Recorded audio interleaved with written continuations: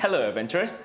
In this video, I'll be sharing with you 3 life hacks anyone can do on Singapore public transportation so you can reach your destination faster and cheaper. Let's begin.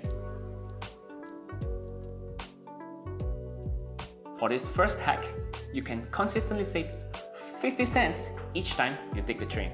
Public transportation in Singapore has a huge problem. During the morning rush hour, which is around 7.30 to 9.30 in the morning, there are a lot of people commuting to work. This puts a huge strain on the train service. To encourage people to avoid this timing, a pre-peak hour subsidy was introduced in 2017. Commuters who use the train before the peak period gets a 50 cents discount to their fare. If you enter the train system at 7.44 and your fare is $1, after the discount, your fare will be 50 cents. The caveat is, it will only discount your train fare. So if you took a bus before you get onto the train, you may be getting less discount. Tapping into LRT also counts as entering the train system. Another easy way to save money is to hack the transfer rules.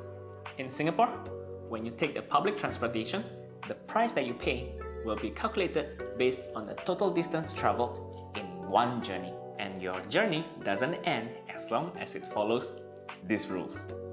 So, let's hack this and only pay half the price. Let's say we need to go to the supermarket from home. I'll take bus 105 from my house. Then I'm gonna spend 44 minutes shopping. With one minute to spare, I'm gonna run to the bus stop and take another numbered bus to go back home. With that, my return bus trip actually still counts as one journey. So instead of paying two price, I only paid one. Voila! I saved 99 cents on my grocery trip. But wait, I can still continue on. I can drop off my groceries, take another bus, take another train, visit my nephew all the way in the other end of the island, and when I tap out, it's still the same one journey. So, when you are planning to visit many different places in a short time, this is a way you can squeeze your dollar's worth. Those were the legal ways to save money. To save even more money, now I'm gonna tell you the illegal methods. Number one,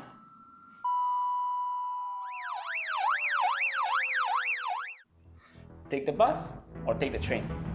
Which way is faster? We're not talking about the need for speed kind of speed. We're talking about which one will get you to your destination faster.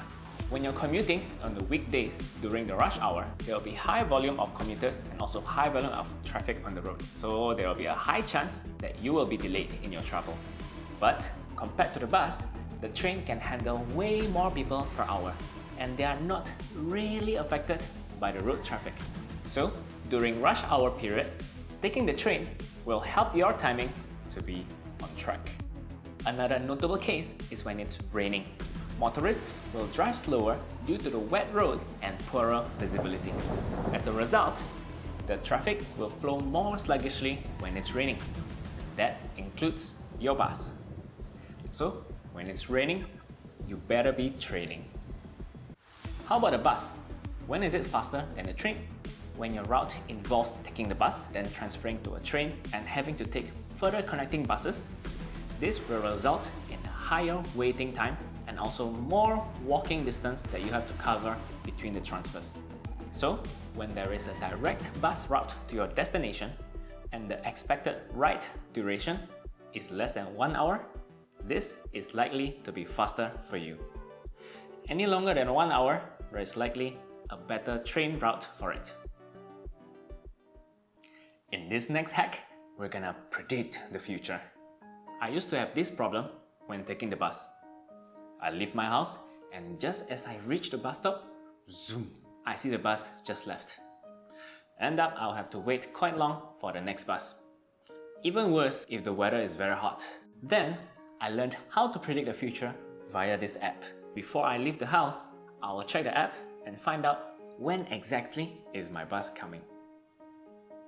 I stopped missing my bus and I don't have to wait so long anymore. There are 1000 other apps that can do this. But I like this one because I can favorite my bus stops. After I click the heart shape on the bus stop, it will appear in this tab. It makes it very easy for me to check on my usual bus stops.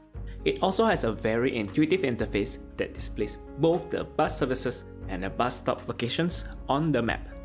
I can also easily check the first and the last bus service timing. This is super useful for days that I need to be early or for days that I want to stay out but still catch the last bus home.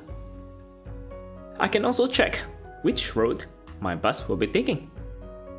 And it can even remind you when to get off the bus. One station before your stop, the app will send you a notification to prepare you to get off. I'm not sponsored, but I really like this app because it helps my anxiety when I know when my bus is coming and where it is going.